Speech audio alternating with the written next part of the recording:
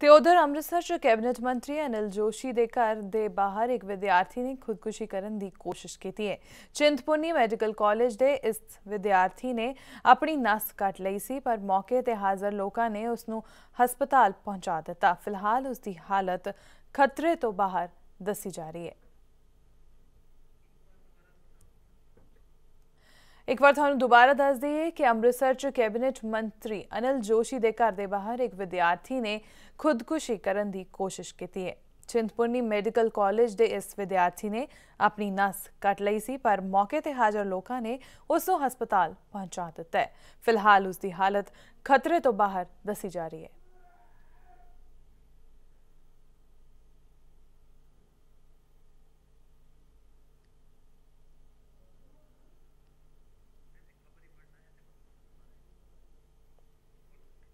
ਅੰਮ੍ਰਿਤਸਰ 'ਚ ਕੈਬਨਿਟ ਮੰਤਰੀ ਅਨਿਲ ਜੋਸ਼ੀ ਦੇ ਘਰ ਦੇ ਬਾਹਰ ਇੱਕ ਵਿਦਿਆਰਥੀ ਨੇ ਖੁਦਕੁਸ਼ੀ ਕਰਨ ਦੀ ਕੋਸ਼ਿਸ਼ ਕੀਤੀ ਹੈ। ਚਿੰਤਪੁਰਨੀ ਮੈਡੀਕਲ ਕਾਲਜ ਦੇ ਇਸ ਵਿਦਿਆਰਥੀ ਨੇ ਆਪਣੀ ਨਸ ਕੱਟ ਲਈ ਸੀ, ਪਰ ਮੌਕੇ ਤੇ ਹਾਜ਼ਰ ਲੋਕਾਂ ਨੇ ਉਸ ਨੂੰ ਹਸਪਤਾਲ ਪਹੁੰਚਾ ਦਿੱਤਾ ਹੈ।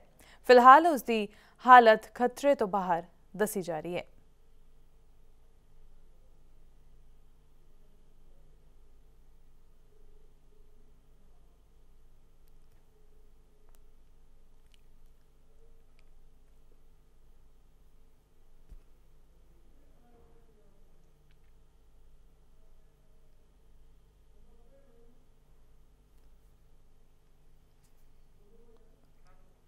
ਅੰਮ੍ਰਿਤਸਰ ਚ ਕੈਬਨਿਟ ਮੰਤਰੀ ਅਨਿਲ ਜੋਸ਼ੀ ਦੇ ਘਰ ਦੇ ਬਾਹਰ ਇੱਕ ਵਿਦਿਆਰਥੀ ਨੇ ਖੁਦਕੁਸ਼ੀ ਕਰਨ ਦੀ ਕੋਸ਼ਿਸ਼ ਕੀਤੀ ਹੈ। ਚਿੰਤਪੁਰਨੀ ਮੈਡੀਕਲ ਕਾਲਜ ਦੇ ਇਸ ਵਿਦਿਆਰਥੀ ਨੇ ਆਪਣੀ ਨਸ ਕੱਟ ਲਈ ਸੀ, ਪਰ ਮੌਕੇ ਤੇ ਹਾਜ਼ਰ ਲੋਕਾਂ ਨੇ ਉਸ ਨੂੰ ਹਸਪਤਾਲ ਪਹੁੰਚਾ ਦਿੱਤਾ ਹੈ। ਫਿਲਹਾਲ ਉਸ ਦੀ ਹਾਲਤ ਖਤਰੇ ਤੋਂ ਬਾਹਰ ਦੱਸੀ ਜਾ ਰਹੀ ਹੈ।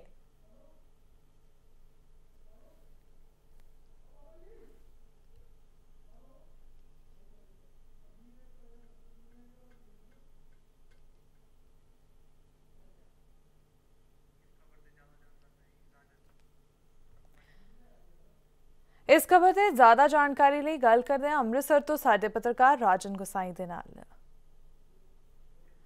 ਜੀ ਰਾਜਨ, ਖੁਦਕੁਸ਼ੀ ਦੀ ਕੋਸ਼ਿਸ਼ ਕਰਨ ਵਾਲੇ ਇਸ ਵਿਦਿਆਰਥੀ ਦੀ ਸ਼ਨਾਖਤ ਹੋ ਗਈ ਹੈ।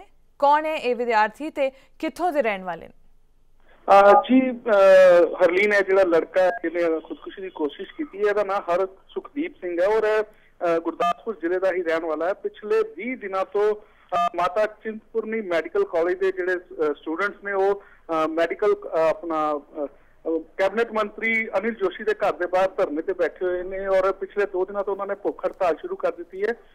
ਹਰ ਸੁਖਦੀਪ ਵੀ ਕੱਲ 2 ਦਿਨ ਦੀ ਹੜਤਾਲ ਕੀਤੀ ਸੀ ਉਹਨੇ ਔਰ ਕੱਲ ਉਹਦੀ ਹੜਤਾਲ ਖਤਮ ਹੋ ਗਈ ਸੀ ਔਰ ਉਸ ਤੋਂ ਬਾਅਦ ਹੋਰ ਜਿਹੜੇ ਲੜਕੇ ਨੇ ਉਹ ਭੁੱਖ ਹੜਤਾਲ ਤੇ ਬੈਠ ਗਏ ਸਨ। ਲੇਕਿਨ ਇਸ ਤਰ੍ਹਾਂ ਹਰ ਸੁਖਦੀਪ ਸਿੰਘ ਜਿਹੜਾ ਬਹੁਤ ਜ਼ਿਆਦਾ ਨਿਰਾਸ਼ ਹੋ ਗਿਆ ਸੀ ਔਰ ਉਹਨੇ ਦੇਰ ਸ਼ਾਮ ਨੂੰ ਕੱਲ ਆਪਣੀ ਨਸ ਜਿਹੜੀ ਹੈ ਬਲੇਡ ਨਾਲ ਕੱਟ ਲਈ ਸੀ। ਹਰਲੀਨ ਮੈਂ ਦੱਸਦਾ ਕਿ ਇਹ ਸਾਰਾ ਮਾਮਲਾ ਜਿਹੜਾ ਹੈ ਪਠਾਨਕੋਟ ਦੇ ਚਿੰਤਪੁਰਨੀ ਮੈਡੀਕਲ ਕਾਲਜ ਦੇ ਨਾਲ ਸੰਬੰਧਿਤ ਹੈ ਔਰ ਸਟੂਡੈਂਟਸ ਦਾ ਐਲੀਗੇਸ਼ਨ ਹੈ ਕਿ ਜਿਹੜਾ ਕਾਲਜ ਹੈ ਹਜੇ ਤੱਕ ਸਰਟੀਫਾਈਡ ਹੀ ਹੈ ਇਹਨੂੰ ਮਾਨਤਾ ਪ੍ਰਾਪਤ ਨਹੀਂ ਹੋਈ ਔਰ ਥਰਡ ਈਅਰ ਦੇ ਵਿੱਚ ਪੜ ਰਹੇ ਨੇ ਔਰ ਉਹਨਾਂ ਨੂੰ ਇਹ ਡਰ ਹੈ ਕਿ ਜਦੋਂ ਉਹਨਾਂ ਥਰਡ ਈਅਰ ਪੂਰਾ ਹੋ ਜਾਏਗਾ ਉਸ ਤੋਂ ਬਾਅਦ ਉਹਨਾਂ ਨੂੰ ਡਿਗਰੀ ਮਿਲੇਗੀ ਜੇ ਮਿਲੇਗੀ ਤੇ ਉਹ ਸਰਟੀਫਾਈ ਹੋਏਗੀ ਜਾਂ ਨਹੀਂ। ਐਸੇ ਮੰਗ ਨੂੰ ਲੈ ਕੇ ਉਹ ਪਿਛਲੇ 20 ਦਿਨਾਂ ਤੋਂ ਮੈਂ ਕੈਬਨਿਟ ਮੰਤਰੀ ਅਨਿਲ ਜੋਸ਼ੀ ਦੇ ਘਰ ਦੇ ਬਾਹਰ ਧਰਨੇ ਤੇ ਬੈਠੇ ਹੋਏ। ਜੀ। ਜੀ ਹੁਣ ਜਿਹੜੇ ਜਿਸੇ ਖੁਦਕੁਸ਼ੀ ਦੀ ਕੋਸ਼ਿਸ਼ ਕੀਤੀ ਕੀਤੀ ਸੀ ਤੇ ਉਹਨਾਂ ਦੀ ਹਾਲਤ ਦੇ ਬਾਰੇ ਜਾਣਕਾਰੀ ਲੈਣਾ ਚਾਹਾਂਗੇ। ਕੀ ਹਾਲਤ ਹੈ ਉਹਨਾਂ ਦੀ? ਜੀ, ਹਰ ਸੁਖਦੀਪ ਸਿੰਘ ਜਿਹਨੇ ਖੁਦਕੁਸ਼ੀ ਦੀ ਕੋਸ਼ਿਸ਼ ਕੀਤੀ, ਉਹਦੀ ਹਾਲਤ ਜਿਹੜੀ ਇਸ ਟਾਈਮ ਖਤਰੇ ਤੋਂ ਬਾਹਰ ਦੱਸੀ ਜਾ ਰਹੀ ਹੈ। ਇਸ ਟਾਈਮ ਉਹ ਗੁਰੂ ਨਾਨਕ ਦੇਵ ਹਸਪਤਾਲ ਦੇ ਆਰਥੋ ਵਾਰਡ ਦੇ ਵਿੱਚ ਐਡਮਿਟ ਆ ਔਰ ਉਹਦੀ ਹਾਲਤ ਜਿਹੜੀ ਖਤਰੇ ਤੋਂ ਬਾਹਰ ਦੱਸੀ ਜਾ ਰਹੀ, ਲੇਕਿਨ ਅੱਜ ਹਰ ਸੁਖਦੀਪ ਸਿੰਘ ਨੂੰ ਮਿਲਣ ਲਈ ਐਸਸੀ ਐਸਟੀ ਕਮਿਸ਼ਨ ਦੇ vice chairman doctor Rajkumar Verka ਵੀ ਉੱਥੇ ਜਾ ਰਹੇ ਨੇ। ਇਸ ਤੋਂ ਇਲਾਵਾ ਪ੍ਰੋਫੈਸਰ ਲక్ష్ਮੀਕਾਂਤਾ ਚਾਵਲਾ ਜਿਹੜੀ ਬੀਜੇਪੀ ਦੀ ਲੀਡਰ ਆ, ਉਹਨੇ ਸੈਂਟਰਲ ਹੈਲਥ ਮਿਨਿਸਟਰ ਹਰਸ਼ਵਰਧਨ ਨੂੰ ਇੱਕ ਚਿੱਠੀ ਲਿਖ ਕੇ ਮੰਗ ਕੀਤੀ ਹੈ ਕਿ ਇਹ ਸਾਰੇ ਮਾਮਲੇ ਦੀ ਜਿਹੜੀ ਹੈ ਛਾਣਬੀਨ ਕਰਾਈ ਜਾਏ ਔਰ ਜੇ ਮੈਡੀਕਲ ਕਾਲਜ ਦੀ ਵਾਕਈ ਮਾਨਤਾ ਨਹੀਂ ਹੈਗੀ ਤੇ ਉਹਦੇ ਖਿਲਾਫ ਵੀ ਕਾਰਵਾਈ ਕੀਤੀ ਜਾਵੇ ਕਿਉਂਕਿ ਇਹ ਜਿਹੜਾ ਮੈਡੀਕਲ ਕਾਲਜ ਹੈ ਸਵਰਨ ਸਲਾਈਆ ਦਾ ਦੱਸਿਆ ਜਾ ਰਿਹਾ ਜਿਹਦੇ ਬਾਰੇ ਇਹ ਕਿਹਾ ਜਾਂਦਾ ਕਿ ਉਹ ਬੀਜੇਪੀ ਦੇ ਜਿਹੜੇ ਵਰਿਸ਼ਠ ਨੇਤਾ ਨੇ ਉਹਨਾਂ ਦਾ ਕਾਫੀ ਨਜ਼ਦੀਕੀ ਹੀ ਮੰਨਿਆ ਜਾਂਦਾ ਹੈ। ਇਸ ਲਈ ਲక్ష్ਮੀ ਚਾਵਲਾ ਵੱਲੋਂ ਹਰਸ਼ਵਰਧਨ ਨੂੰ ਜਿਹੜੀ ਚਿੱਠੀ ਲਿਖੀ ਗਈ ਹੈ ਉਹ ਵੀ ਕਾਫੀ ਮਹੱਤਵਪੂਰਨ ਦੱਸੀ ਜਾ ਰਹੀ ਹੈ। ਜੀ ਜੀ ਬਿਲਕੁਲ। ਰਾਜਨ ਇਸ ਸਾਰੀ ਜਾਣਕਾਰੀ ਲਈ ਬਹੁਤ ਬਹੁਤ ਧੰਨਵਾਦ।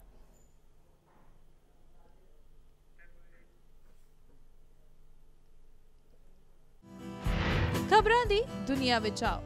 ਸਾਡੇ ਨਾਲ ਕਦੇ ਵੀ ਕਿਤੇ ਵੀ ਜੁੜੋ। ਆਪਾਂ ਮਿਲਾਂਗੇ ਫੇਸਬੁੱਕ ਤੇ।